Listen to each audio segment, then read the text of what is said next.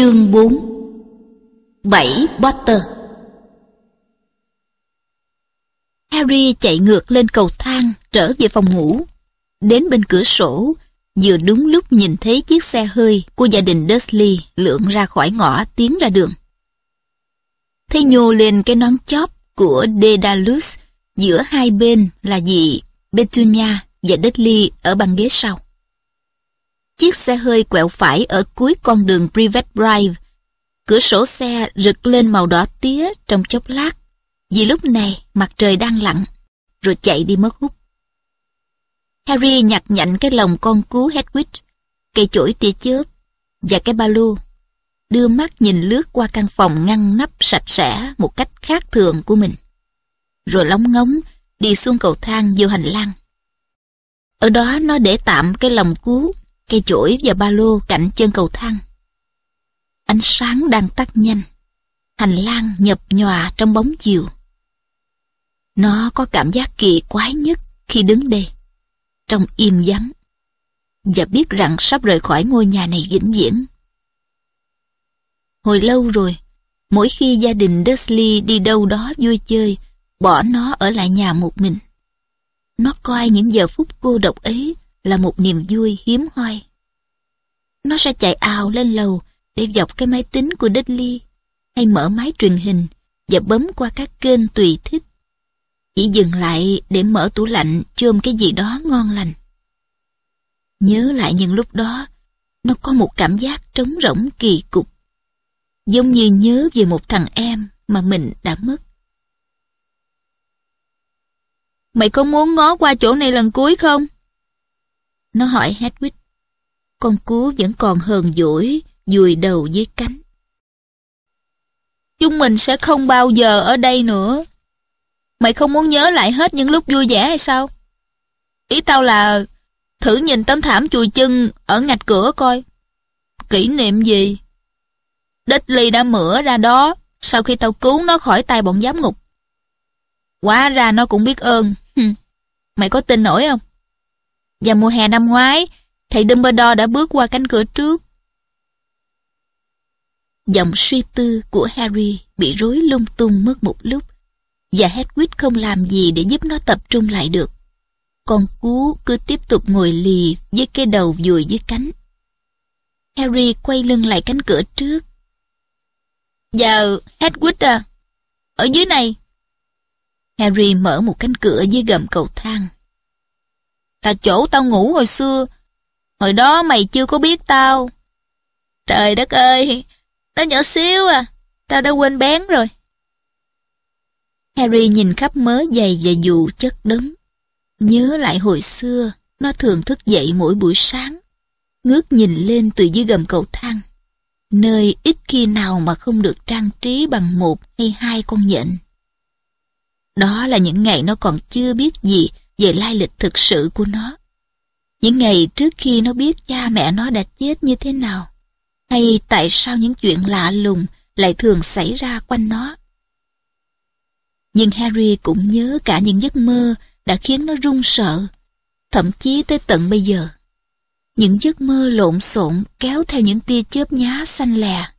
Và có lần, Dượng Vernon suýt tông xe khi Harry kể lại là một chiếc xe gắn máy biết bay.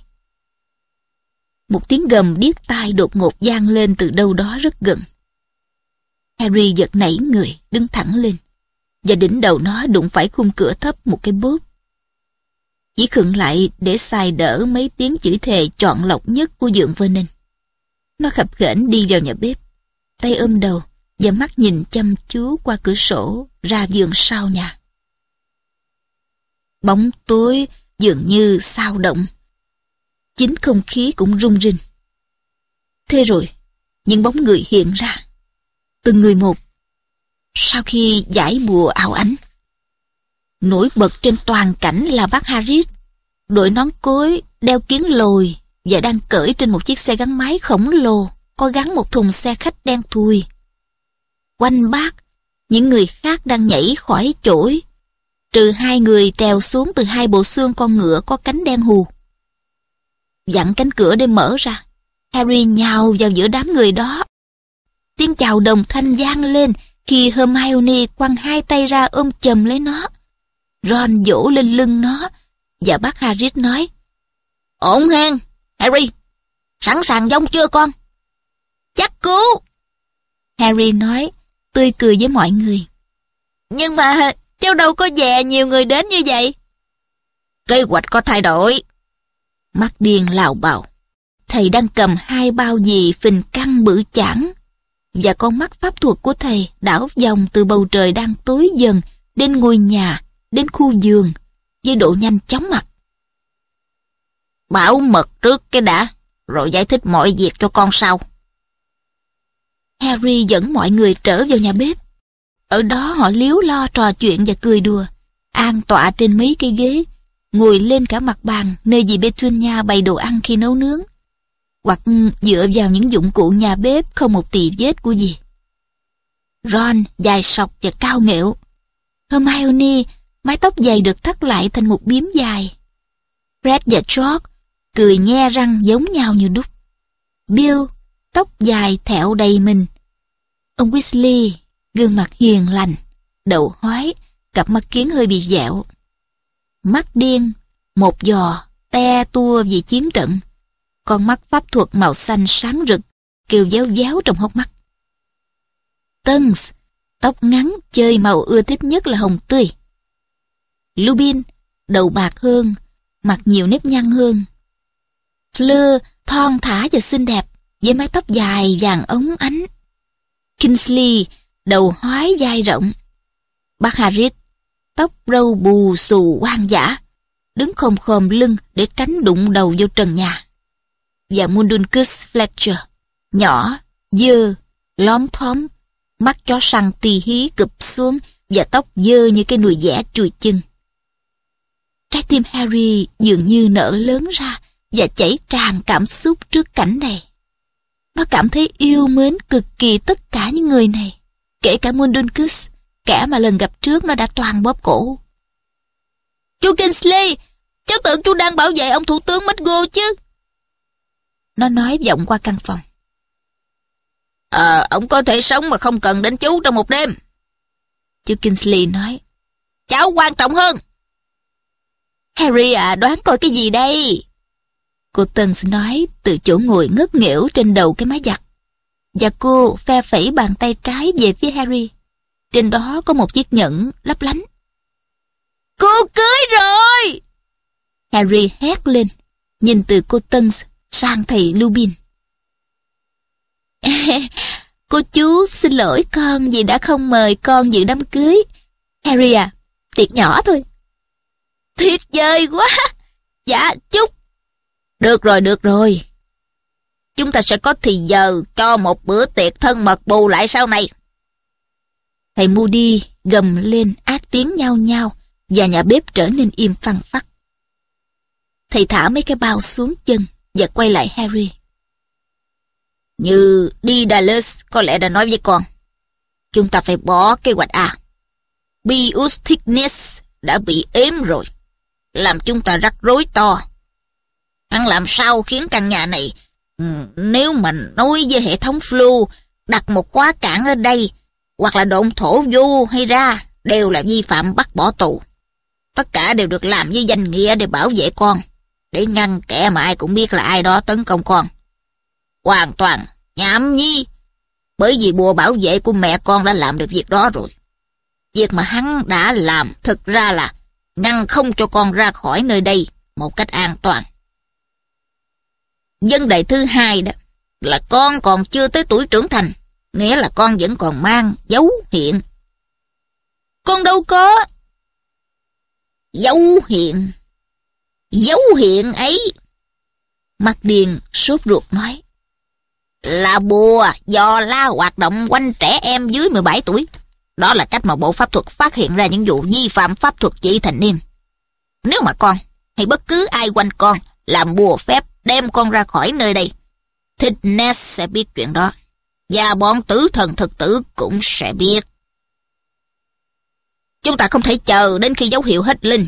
Bởi vì đúng thời điểm con đủ 17 tuổi, con sẽ mất hết sự bảo vệ mà mẹ con đã phù hộ con. Ngắn gọn lại đi. Bios Thickness nghĩ là hắn đã cho con vô rọ, gọn gàng, ngon ư. Harry không thể không đồng ý với tay thích Ness nào đó. Vậy chúng ta sẽ làm gì đây? Chúng ta sẽ dùng phương tiện di chuyển duy nhất còn chưa lại cho chúng ta. Phương tiện duy nhất mà bùa dấu hiện không dò ra được. Bởi vì chúng ta không cần ếm bùa lên mấy cái thứ đó. Chổi nè, giống mã và xe gắn máy của bác Harry. Harry có thể thấy những sơ hở trong kế hoạch này. Tuy nhiên nó kềm lưỡi lại để thầy mắt điên có cơ hội diễn thuyết. Bây giờ à, bùa của mẹ con sẽ chỉ hết linh với hai điều kiện. Khi con đến tuổi trưởng thành, hoặc là... Thầy Moody khoát tay chỉ quanh cái nhà bếp sạch bông như mới gỡ nhãn. Hoặc là khi con không còn coi nơi đây là nhà của mình nữa. Đêm nay con và dì dưỡng con sẽ đi những ngã đường khác nhau. Hiểu cho rốt ráo thì con và họ sẽ không bao giờ chung sống với nhau nữa. Đúng không? Harry gật đầu. Ừ, như vậy là lần này khi con ra đi, sẽ không có trở lại. Và bùa bảo vệ con sẽ hết linh ngay khi con ra khỏi dùng bùa ếm. Chúng ta đang chọn cách giải bùa sớm hơn. Bởi vì ngược lại có nghĩa là ngồi chờ kẻ mà ai cũng biết lại đó đến tóm con ngay thời điểm con tròn 17 tuổi. Ai chà, có một lợi thế về phía chúng ta. Đó là kẻ mà ai cũng biết là ai đó không biết chúng ta di chuyển đêm nay. Chúng ta đã để lọt kế hoạch giả cho bộ pháp thuật. Hơ hơ, họ tưởng con đến ngày 31 mới ra đi. Nhưng mà chúng ta đang đương đầu với kẻ mà ai cũng biết là ai đó. Vì vậy chúng ta không thể ý y hắn nhầm ngày. Nhất định là hắn có vài ba tử thần thực tử tuần tra dung trời của toàn khu vực này để phòng xa đó. Ơi, do vậy chúng ta đã bố trí bảo vệ hết cỡ cho một tá căn nhà khác nhau. Những nơi đó con đều có thể đến ẩn náu được. Tất cả đều có liên hệ với hội. Nhà thầy nè, chỗ của anh Kingsley, nhà dì Miriam của chị Molly. À, con nắm được vấn đề chưa? Ừ, dạ. Harry nói, không hoàn toàn chân thực. Bởi vì nó vẫn thấy có một lỗ hở trong kế hoạch. Con sẽ đến nhà cha mẹ cô Tân một khi đã ở trong vòng linh nghiệm của bùa phép bảo vệ mà chúng ta yếm lên căn nhà. Con sẽ có thể dùng khóa cản để đến hang sóc. Có thắc mắc gì nữa không? Ờ, dạ có. Harry nói. Có thể ban đầu chúng ta sẽ không biết con đang tới căn nào trong 12 căn nhà an toàn đó. Nhưng có bị quá lộ liễu không khi mà... Nó đếm đầu người thiệt nhanh. 14 người chúng ta cùng bay về phía nhà ba má của cô Tân à? À, thầy Moody nói, thầy quên nói tới một điểm quan trọng. 14 người chúng ta sẽ không cùng bay đến nhà cha mẹ cô Tân. Đêm nay sẽ có 7 Potter di chuyển trên bầu trời. Mỗi Potter có một người đi kèm, mỗi cặp hướng tới một căn nhà an toàn khác nhau. Lúc này thầy Moody rút từ trong áo choàng ra một cái hũ đựng thứ gì đó giống như sình. Thầy không cần phải nói thêm một lời nào nữa. Harry hiểu ngay tức thì phần còn lại của kế hoạch. Không! Nó là lớn, giọng nó vang rền khắp nhà bếp. Không đợi nào! Mình đã nói là thế nào bồ cũng sẽ phản ứng như vậy mà. Hermione nói với thoáng đắc ý. Ừ, nếu thầy nghĩ là con sẽ chấp nhận cho sáu người liều mạng vì con thì... Ừ, bởi vì đây là cơ hội đầu tiên cho tất cả tụi này đó. Ron nói. Nhưng việc này khác. Giả là mình thì... Thôi đi Harry. Đâu có ai trong bọn mình thiệt sự khoái làm vậy đâu. Fred nói một cách nghiêm chỉnh. Thử tưởng tượng nếu có gì đó trục trặc, rồi tụi này bị kẹt luôn ở trong bộ gió một thằng cà khêu lớn đớm. Harry không cười. Nếu con không hợp tác thì mọi người cũng đâu có làm được đâu. Mọi người cần con cho mấy sợi tóc mà. Ờ, đó là chỗ kế hoạch bị bể. George nói. Hiển nhiên là tụi này đừng hòng xin tí tóc của em nếu như em không chịu. Ờ hén, 13 người chọi lại một thằng không được phép xài bùa phép. Bó tài. Red nói. Harry nói. Khôi hài. Hài hước thiệt. Nếu đến nước phải dùng sức, thì đành phải dùng thôi. Thầy Moody gầm gà. Con mắt pháp thuật của thầy lúc này đang khẽ rung rung trong hốc mắt. khi thầy ngó Harry chầm chầm. Mọi người ở đây đều trưởng thành Potter. Và tất cả đều đã chuẩn bị để đối phó với hiểm nguy. Lão Mundungus rùng mình nhăn mặt. Con mắt pháp thuật chạy tọt qua một bên đầu của thầy Moody để liếc chừng lão ta. Chúng ta đừng tranh cãi nữa. Thời giờ sắp hết rồi. Thầy cần một chút tóc của con. Nghe không? Đưa đây, mau. Nhưng mà chuyện này nó điên quá. Khỏi cần... Khỏi cần phải không? Thầy Moody quát lên. Khi mà kẻ mà ai cũng biết là ai đó đang hoành hành và một nửa bộ pháp thuật thuộc về phe của hắn. Potter à, nếu chúng ta may mắn thì hắn sẽ táp cái mồi giả và sau đó sẽ âm mưu phục kích con vào ngày 31. Nhưng hắn có điên mới không cho một hai tử thần thực tử canh chân từ bây giờ. Nếu thầy là hắn, thì thầy sẽ làm như vậy. Chúng có lẽ không thể tấn công con hay căn nhà này khi bùa ểm của mẹ con còn linh nghiệm. Nhưng mà bùa sắp sửa hết linh và họ biết vị trí hớ hên của chỗ này. Chúng ta chỉ còn có cách là dùng mọi nhữ thôi. Ngay cả kẻ mà ai cũng biết là ai đó cũng không thể tự phân thân thành bảy được. Harry bắt gặp ánh mắt của Hermione, nhưng nó ngó đi chỗ khác ngay. nãy giờ thì nói nhiều quá, như vậy đó Potter à. Một nhúm tóc của con, cho thầy xin. Harry liếc Ron. Ron nhăn mặt, ra cái vẻ thì cứ làm đi. Đưa ngay! Thầy Moody quát lên. Trước tất cả những con mắt đổ dồn vào nó, Harry đưa tay lên đầu, nắm một nhúm tóc và giật ra. Tốt! Thầy Moody nói, đi cà nhắc tới trước, trong khi giật cái nút của hũ đựng thuốc ra. Bỏ vô đây, làm ơn. Harry thả nhúm tóc vô trong chất lỏng giống như sình đó. Ngay khi nhúm tóc vừa chạm vào bề mặt chất lỏng, thuốc bắt đầu sủi bọt và bốc khói. Rồi ngay tức thì, nó chuyển sang một màu vàng rực, trong veo. Á chà, coi bộ bồ nhắm ngon hơn Crab và goi Harry à. Hermione nói, trước khi nhìn thấy đôi chân mày của Ron nhướng lên. Cô nàng hơi đỏ mặt nói, Ờ, bộ hiểu ý mình mà, thuốc biến thành Goy có vị như quỷ á.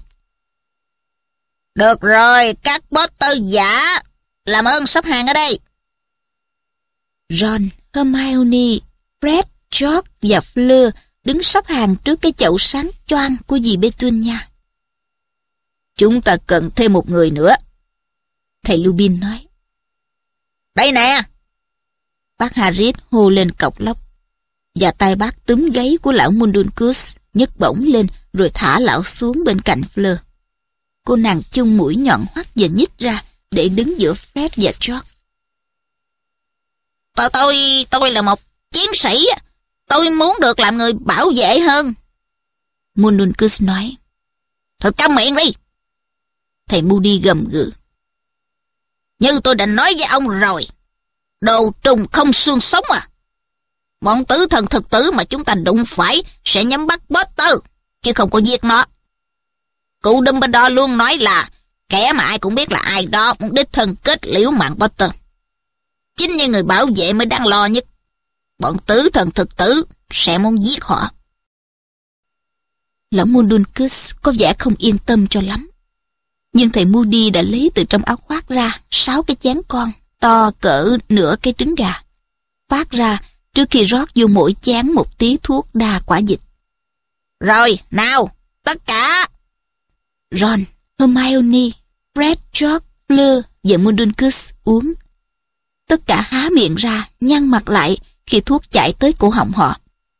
Ngay lập tức, nét mặt họ bắt đầu phồng lên, méo mó như sáp nóng. Hermione và Mundungus cao giọt lên.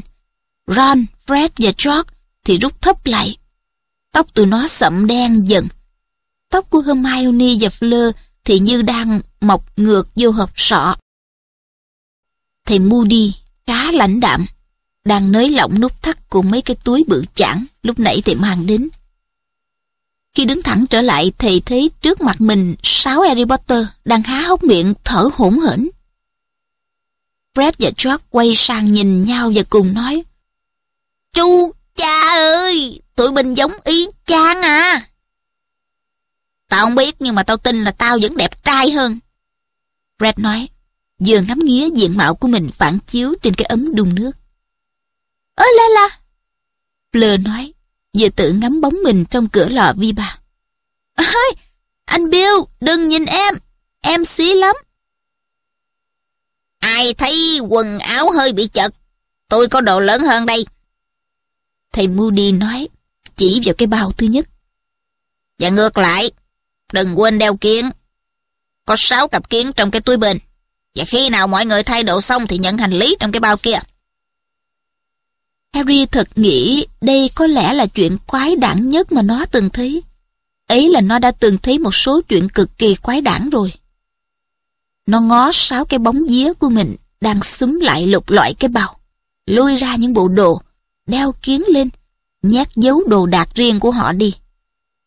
Nó cảm thấy muốn yêu cầu họ tôn trọng sự riêng tư kín đáo của nó hơn một chút. Khi tất cả sáu Harry giả bắt đầu cởi quần áo ra tỉnh bơ. Hiển nhiên nếu là thân thể của chính họ thì họ đâu có thoải mái phô bày ra như đối với thân thể nó. Mình đã biết là Ginny xạo về cái vết xăm đó mà. Ron nói khi ngó xuống bộ ngực trần của nó. Harry, mắt bồ cận khủng khiếp quá à. Hermione nói khi cô bé đeo kiến lên. Khi thay đồ xong, mấy Harry giả lấy trong bao thứ hai những chiếc ba lô và lồng cú. Trong mỗi lồng có một con cú nhồi bông, trắng như tuyết. Tóc! Thầy Moody nói, khi cuối cùng bảy Harry đã ăn mặc xong, mang kính, đeo ba lô, đứng trước mặt thầy. Từng cặp được chia như sau. Mundungus sẽ đi với tôi, bằng chổi. Trời, sao tôi lại đi với ông? Tên Harry đứng gần cửa lào bào. Bởi vậy ông là người cần canh chân. Thầy Moody gầm gừ. Và không sai chút nào. Con mắt pháp thuật của thầy không hề rời khỏi lão Bunungus khi nói tiếp. Arthur và Fred. Cháu là George mà. Anh chàng sinh đôi mà thầy Moody chỉ vào, nói. Cả khi tụi cháu biến thành Harry rồi mà chú cũng chẳng thể phân biệt được sao chú. Ờ, xin lỗi George nha. cháu chỉ bắt dò chú chơi thôi, thực ra cháu là Fred. Thôi được rồi, tao lao đủ rồi.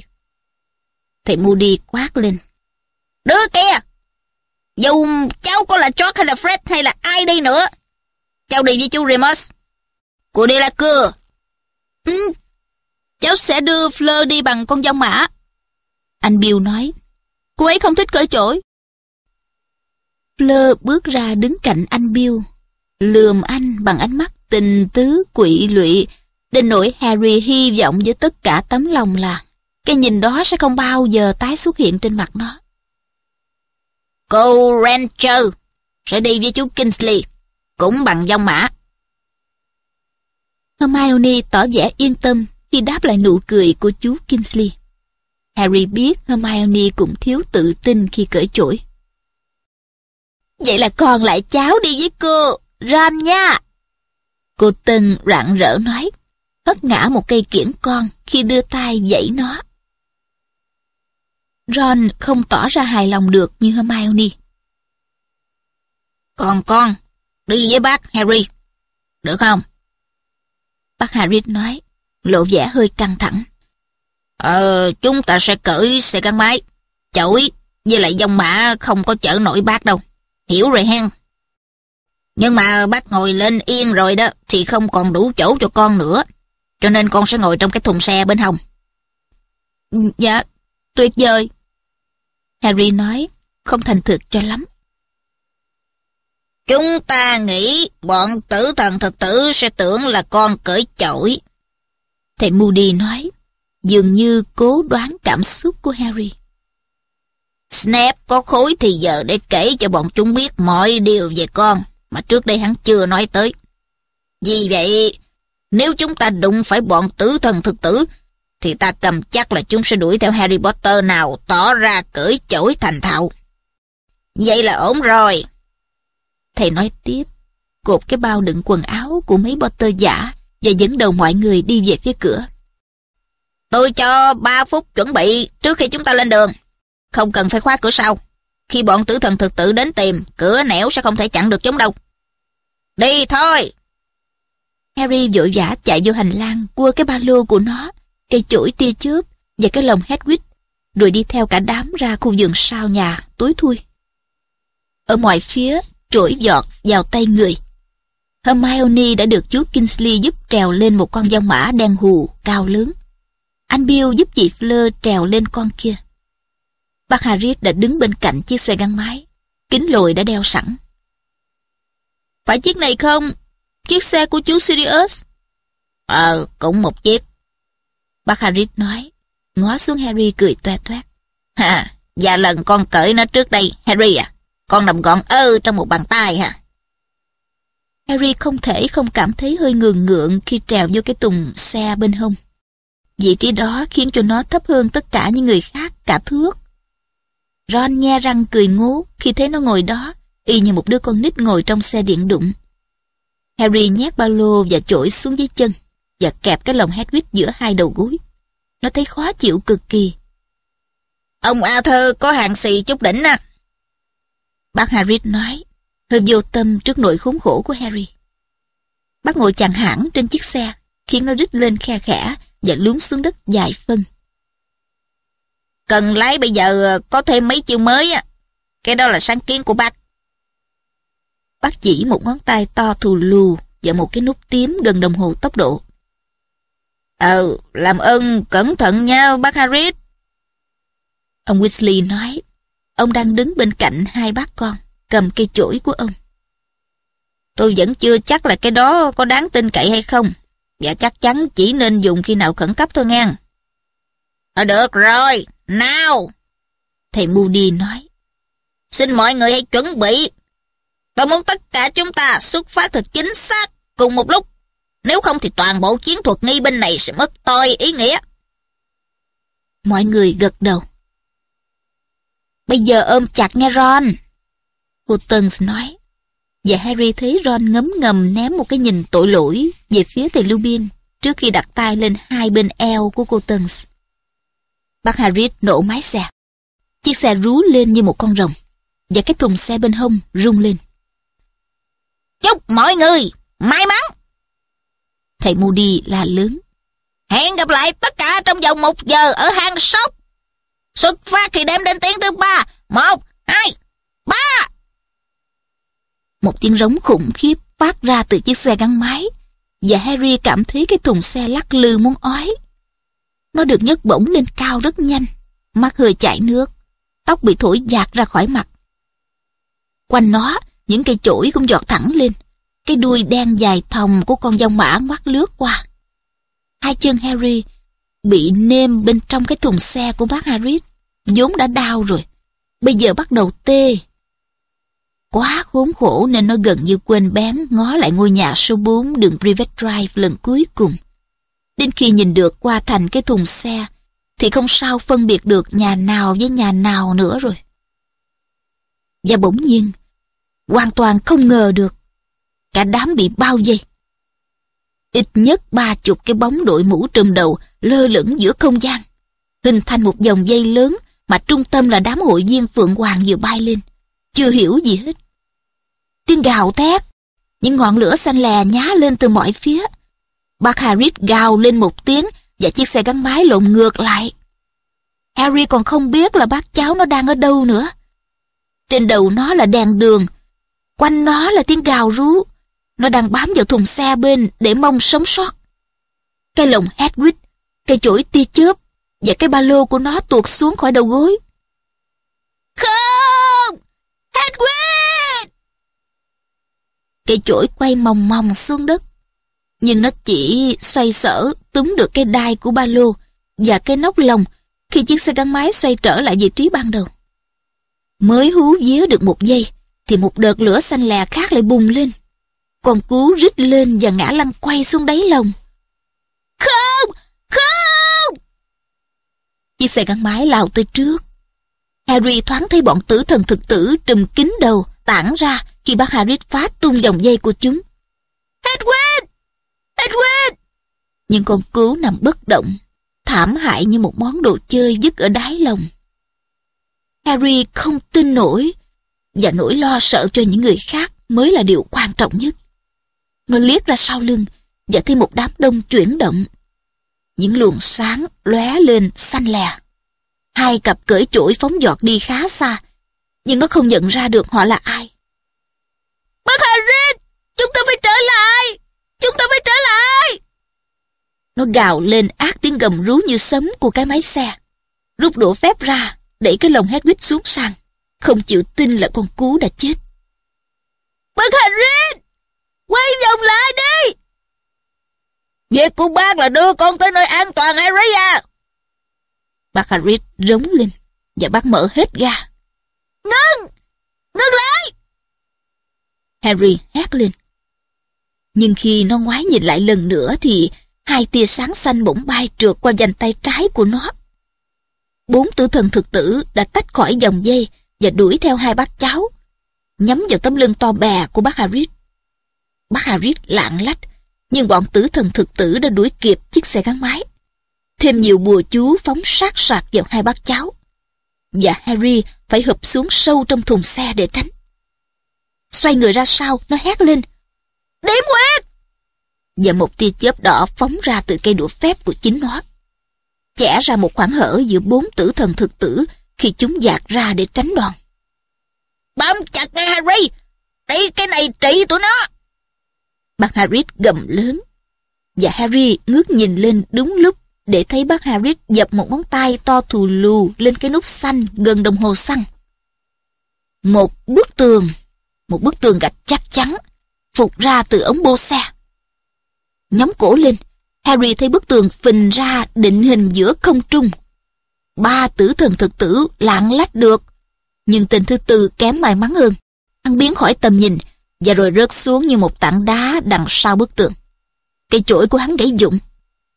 Một tên trong bọn bay chậm lại để cứu hắn, nhưng cả hai tên cùng bức tường trong không trung bị bóng tối nuốt chửng khi bác Harris chồm rạp người trên tay lái và tăng tốc giọt đi. Nhiều lời nguyền giết chóc bay ngang qua đầu Harry từ cây đũa phép của hai tên tử thần thực tử còn lại. Chúng nhắm vào bác Harris. Harry đáp trả bằng cách tung thêm càng nhiều bùa choáng. Đỏ và xanh đụng nhau giữa trời trong một màn mưa tia sáng đủ màu. Và Harry nghĩ lộn xộn đến những chùm pháo bông và đám dân mất gô dưới mặt đất hẳn chẳng biết được đang xảy ra chuyện gì. Chơi một cú nữa nè, Harry, bám chặt cái con. Bác Harris gào to và bắt dập vào nút thứ hai. Lần này, một tấm lưới vĩ đại bung ra từ ống bô xe. Nhưng bọn tử thần thực tử đã cảnh giác. Chẳng những chúng lặng lách tránh được tấm lưới, mà cái tên lúc nãy bay chậm lại để cứu đồng bọn cũng đã đuổi kịp. Hắn hiện ra từ bóng tối, và bây giờ cả ba cùng đuổi theo chiếc xe gắn máy. Tất cả cùng bắn theo những lời nguyền. Cái này được đây nè Harry bám chặt vô con. Bác Harris gào to. Và Harry thấy bác đấm nguyên bàn tay lên cái nút tím bên cạnh đồng hồ tốc độ. Cùng với một tiếng rống kinh thiên động địa không thể nhầm lẫn được. Lửa rồng phun ra từ ống bô. Nóng đến trắng xanh. Và chiếc xe gắn máy giọt tới trước như một viên đạn trong tiếng kim loại kêu răng rắc.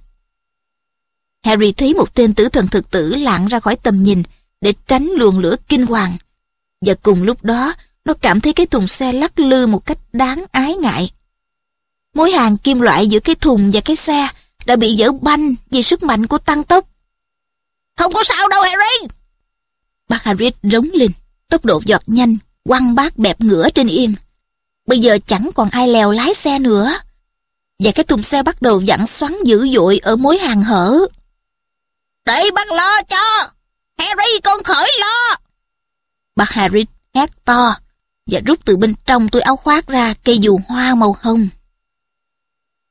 Bác Harris, đừng, để con. Sữa! Một tiếng nổ điếc tai và cái thùng xe xúc hoàn toàn ra khỏi cái xe gắn máy. Lực đẩy của chiếc xe gắn máy đang bay khiến cho Harry lao nhanh tới trước, rồi cái thùng xe bắt đầu mất độ cao. Trong cơn tuyệt vọng, Harry chĩa cây đũa phép vào cái thùng xe, hét lớn. Gắn cánh bay lên! Cái thùng xe nổi lên như cái nút phao. Tuy không còn lèo lái được, nhưng ít nhất thì vẫn còn lơ lửng giữa trời. Tuy nhiên, Harry chỉ thở phào được có một giây, Vì nhiều lời nguyền đang xẹt qua nó veo véo. Ba tên tử thần thực tử đang sáp lại. Bắt tới nè Harry! Tiếng bác Harry quát trong bóng tối. Nhưng Harry cảm thấy cái thùng xe lại bắt đầu rớt xuống. Nó cố gắng ngồi thu lại thật thấp, rồi chĩa vào tên chính giữa trong ba cái bóng đang tiến tới gần, và nó hét lên. Chặn lại! Thần chú trúng ngay ngực tên tử thần thực tử chính giữa. Gã bỗng bị căng tay chân giữa trời một cách lố lăng, như thể tông phải một thanh chắn vô hình. Một tên đồng bọn suýt tông phải gã. Thế rồi, cái thùng xe bắt đầu rớt xuống một cách nghiêm trọng. Và bọn tử thần thực tử phóng ra một lời nguyền sát Harry đến nỗi nó phải thụp xuống thấp hơn dành thùng xe, đập miệng vào cạnh của cái ghế làm văng ra một cái răng. Bắt tới ngay nè Harry, bắt tới liền! Một bàn tay khổng lồ túm lấy lưng áo Harry, nhấc nó ra khỏi cái thùng xe đang lao thẳng xuống. Harry kéo được cái ba lô theo trong lúc tự mình trèo lên yên xe gắn máy. Để rồi nhận ra đang ngồi đâu lưng lại với bác Harris. Khi hai bác cháu giọt lên trên, bỏ lại hai tên tử thần thực tử, Harry nhổ máu ra khỏi miệng, chĩa cây đũa phép về phía cái thùng xe đang rơi và hét. Phá hủy! Lúc cái thùng xe nổ tung, Harry thấy đau cho Hedwig đến thắt ruột khủng khiếp. Tên tử thần thực tử gần nhất bị nổ văng khỏi chổi, té mất tâm. Tên đi cùng với hắn rớt lại và biến mất. Harry à, bác xin lỗi. Bác xin lỗi nghe. Bác Harry rên rỉ. Lẽ ra bác không có nên tự sửa. Con bị mất cái chổi rồi. Không quan trọng đâu, bác cứ bay tiếp đi bác. Harry hét ngược lại, vì hai tử thần thực tử nữa hiện ra từ bóng tối, đang kéo tới gần. Những bùa chú lời nguyện lại một lần nữa phóng qua lại trong khoảng không giữa hai phe. Bác Harry lạng lách và bay theo hình chữ Z. Harry biết bác Harry không dám dùng đến nút lửa rồng một phen nữa khi mà Harry ngồi trong thế trông chênh như vậy. Harry phóng ra hết bùa choáng này đến bùa choáng khác và bọn đang đuổi theo, chỉ đủ cầm chân chúng. Nó lại phóng thêm một thần chú chặn đường nữa. Tên tử thần thực tử đuổi theo sát nhất, là người tránh được. Cái mũ trùm đầu của hắn tuột ra. Và nhờ ánh sáng đỏ của bùa choáng, nó tung ra tiếp theo đó. Mà Harry nhìn thấy gương mặt trơ kỳ quái của Stanley Sunpike Stan. Dạy với! Harry hét lên. Nó đó! Nó đó! Nó là đứa thiệt đó! Harry nghe tiếng la của tên tử thần thực tử còn lớn hơn cả tiếng máy xe nổ như sấm rền. Ngay sau đó, cả hai tên đuổi theo đều rớt lại sau và biến mất. Harry, chuyện gì xảy ra vậy con? Bác Harry hét lên. Chúng bỏ đi đâu rồi? Con không biết. Nhưng Harry sợ. Tên tử thần thực tử đội mũ trùm đã hét. Nó là đứa thật đó. Làm sao hắn biết được? Nó nhìn đăm đăm vào bóng tối dường như trống trơn và cảm nhận được mối đe dọa. Chúng ở đâu? Nó lồm cồm xoay quanh chỗ ngồi để quay ra phía trước và níu lấy lưng áo khoác của bác Harris. Bác Harris, bác xịt lửa rồng một lần nữa đi bác. Chúng ta hãy đi khỏi đây ngay. Ừ vậy thì bám chặt ngay Harry. Một lần nữa tiếng gầm rú đinh tai nhức óc vang lên và lửa trắng xanh phục ra từ ống bồ Harry cảm thấy bản thân mình bị trật ra sau, trượt khỏi cái yên, chỉ còn có chút xíu chỗ cho nó ngồi. Bác Harry bật ngửa ra sau đè lên nó, suýt ruột cả tay lái. Ừ, bác nghĩ mình đã bỏ rơi chúng rồi đó Harry à. Bác nghĩ mình thoát rồi đó. Nhưng Harry không tin tưởng lắm. Nỗi sợ bao trùm khi nó nhìn trái, ngó phải, canh chừng những kẻ truy đuổi mà nó chắc chắn là sẽ đến. Tại sao chúng lại rớt lại chứ? Một tên trong bọn chúng vẫn còn cái đũa phép mà. Nó đó, nó là đứa thật đó. Chúng nói điều đó ngay sau khi nó cố giải giới Stan. Chúng ta gần đến nơi rồi Harry, chúng ta gần thành công rồi con. Bác Harry hét toán lên. Harry cảm thấy chiếc xe gắn máy hạ thấp xuống một tí, mặc dù ánh đèn với mặt đất trông vẫn còn xa xăm như những gì sau. Bỗng cái thẹo trên trán nó nóng bỏng như lửa. Mỗi bên chiếc xe gắn máy xuất hiện một tên tử thần thực tử. Hai lời nguyền giết chóc bắn từ phía sau sướt qua nó trong đường tơ kẻ tóc. Và rồi Harry thấy hắn. Voldemort đang bay như khói, nương theo gió, không cởi chổi cũng không cởi dao mã. Gương mặt như rắn của hắn sáng lập lòe trong bóng tối. Những ngón tay trắng hiếu của hắn lại dơ cao cây đũa phép. Bác Harry thốt ra một tiếng rú kinh hãi và bẻ lái xe lao xuống theo chiều thẳng đứng. Bám lấy hy vọng sống sót, Harry phóng lung tung những bùa choáng vào bóng đêm đang quay mòng mòng. Nó thấy một thân thể bay ngang qua và biết là nó đã phóng trúng một tên trong bọn chúng. Nhưng rồi, nó nghe một tiếng nổ kinh thiên và nhìn thấy những tia lửa nhán lên từ động cơ của chiếc xe. Chiếc xe quay xoắn tít trong không trung, hoàn toàn không điều khiển được nữa. Những tia sáng xanh lẹ lại phóng trớt qua hai bác cháu. Harry không còn biết đâu là trên đâu là dưới nữa. Cái thẹo của nó vẫn đang cháy bỏng. Nó chờ chết trong chớp mắt. Một cái bóng đội mũ trùm kính mặt cởi chổi, bay chỉ cách nó vài bước. Nó thấy hắn giơ cánh tay lên. Không! Bác Harris gào lên giận dữ và tự phóng mình ra khỏi chiếc xe, lao vào tên tử thần thực tử. Harry kinh hoàng, ngó cả bác Harris lẫn tên tử thần thực tử cùng rớt xuống mất tiêu. Trọng lượng gộp lại của cả hai quá sức chịu đựng của cây chổi. Ráng dùng hai đầu gối kẹp chặt chiếc xe gắn máy đang lao thẳng xuống. Harry nghe Voldemort gào lên. Của ta! Như thế là hết. Nó không thể nghe hay thấy Voldemort ở đâu nữa. Nó thoáng thấy một tên tử thần thực tử khác xà xuống tránh chỗ, và nó nghe. Avada! Cơn nhói đau từ cái thẹo khiến Harry nhắm mắt lại. Cây đũa phép của nó tự phản ứng. Nó có cảm giác cây đũa phép kéo bàn tay nó quay vòng như một thoải nam châm vĩ đại. Qua đôi mắt hé mở, nó thấy một ngọn lửa vàng chóe bắn ra. Một tiếng rắc, rồi một tiếng thét giận dữ. Tên tử thần thực tử còn lại rống lên. Voldemort gào lên không.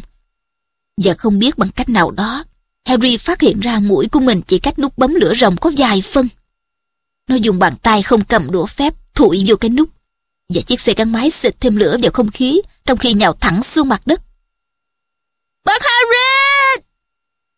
Harry gọi, bám vào chiếc xe gắn máy để tự cứu mình. Bác Harry! Triệu lại đây! Bác Harry! Chiếc xe gắn máy lao nhanh hơn, bị hút về phía mặt đất. Mặt Harry nằm ngang tay lái, nên nó chẳng thể thấy gì ngoại trừ những ánh đèn xa xăm, đang càng lúc càng gần. Nó sắp rớt xuống đất, và nó không thể làm gì để đừng rớt. Đằng sau nó lại vang lên một tiếng gào nữa. Cây đũa phép của mi, Selwyn! Đưa cho ta đũa phép của mi! Harry cảm nhận được Voldemort trước khi nhìn thấy hắn. Quay ngang, nó ngó chồng chọc vào hai con mắt đỏ và chát mẻm. Đó là thứ cuối cùng nó nhìn thấy trên đời. Voldemort đang chuẩn bị ếm nó một lần nữa. Và bỗng nhiên, Voldemort biến mất. Harry ngó xuống, thấy bác Harry nằm dạng tay chân trên mặt đất bên dưới. Nó ghi chặt tay lái để tránh đụng phải bác. Mò mẫm tìm cái thắng. Nhưng với một cú đâm sầm, rung đất, đía tai, nó nhào mạnh xuống một cái ao sình